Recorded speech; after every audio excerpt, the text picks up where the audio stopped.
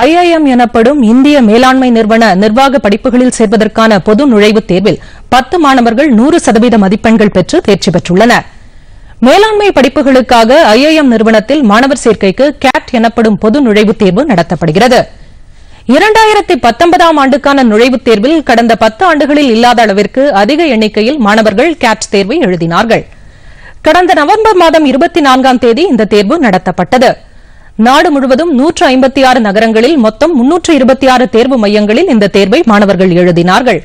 இந்த கேட் தேர்வு முடிவுகள் இன்று வெளியிடப்பட்டன. இதில் பத்து மாணவர்கள் நூற்றுக்கு நூறு மதிப்பெண்கள் பெற்று தேர்ச்சி பெற்றுள்ளனர்.